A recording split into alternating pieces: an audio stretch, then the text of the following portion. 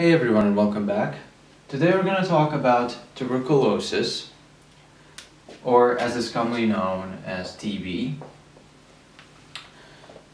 So first of all, what is tuberculosis? Tuberculosis of course is a pulmonary pathology that we're going to discuss, but we have to know that currently tuberculosis is an endemic, which means that it's found in a restricted population.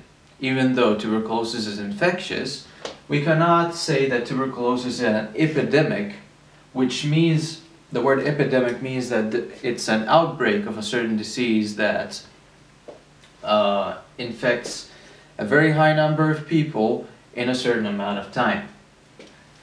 Tuberculosis was like that in the 18th and 19th centuries till the discovery of the bacterial causes of tuberculosis in 1882 by the German Dr. Koch. And this is why the bacteria that cause TB are called Koch bacillus or Koch bacilli. So Koch bacilli. Now, those bacilli, their name is Mycobacterium or Mycobacteria tuberculosis. Mycobacteria tuberculosis. There are other bacteria that can cause tuberculosis as well, but this is the most common one. So those bacteria are rod-shaped. Bacilli means rod-shaped. So they are rod-shaped bacteria. And myco is related to mucus secretion. So on the bacterial wall here, we have mucus secretion. Mucus secretion. And this is very important. First of all, it, it makes them resistant. Second, in histology, they give a red color with a stain called acid fast stain. So in microscopy, they appear as red rods or bacilli like that. So this is very important for the testing for tuberculosis. And this is why also they're called acid-fast bacilli. So Koch bacilli, acid-fast bacilli, or MTB, Mycobacterium tuberculosis. A very important thing that we also need to know about these bacteria is that they are strictly aerobes. Aerobes means that they need oxygen to survive. Without oxygen, they die. They strictly need oxygen to survive. So these are very important characteristics of the bacteria that cause tuberculosis.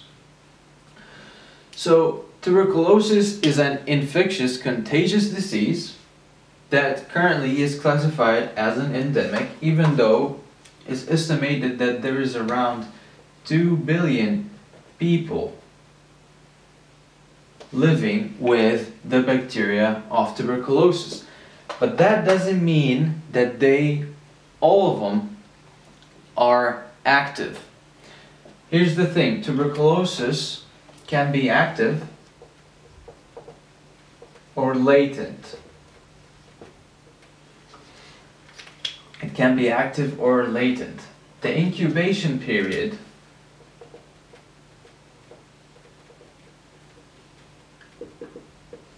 of TB is 2 to 12 weeks.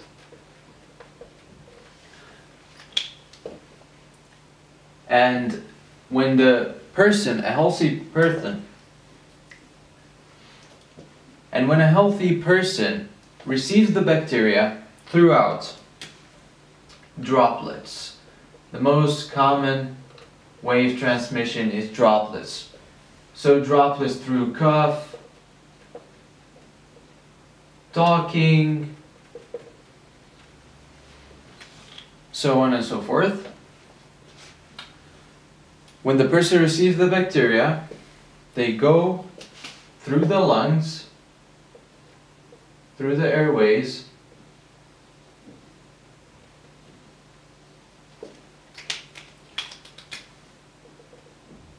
through the lungs, and they stay dormant. The first infections of TB always occur in the lower lobes of the lungs. The mechanism of infection we're going to talk about in the next video.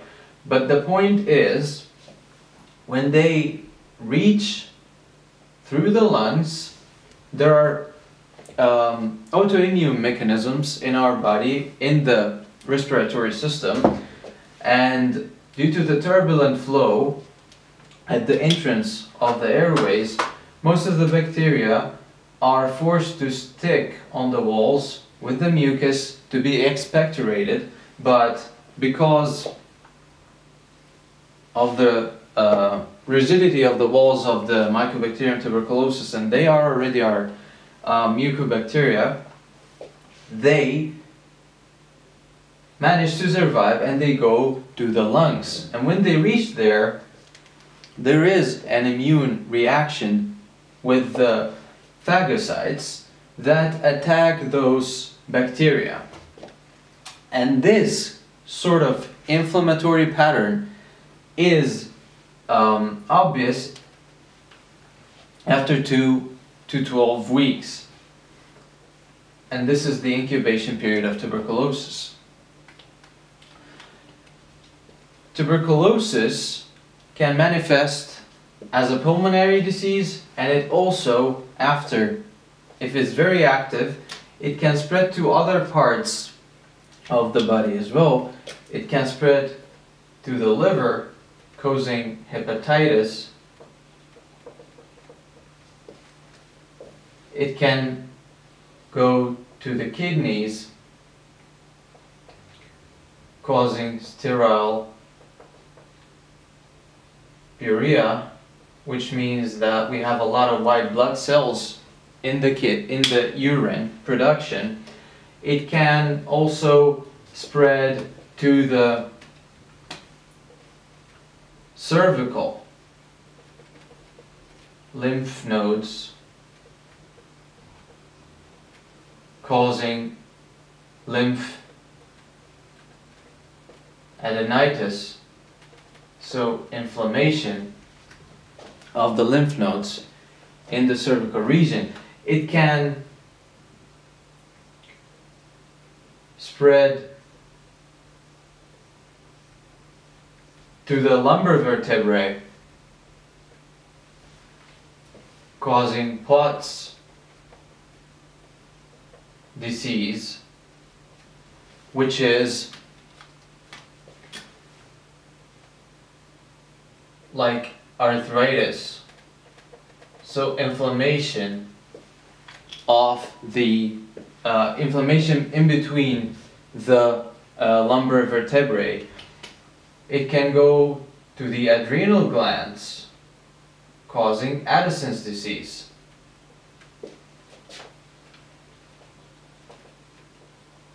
Addison's disease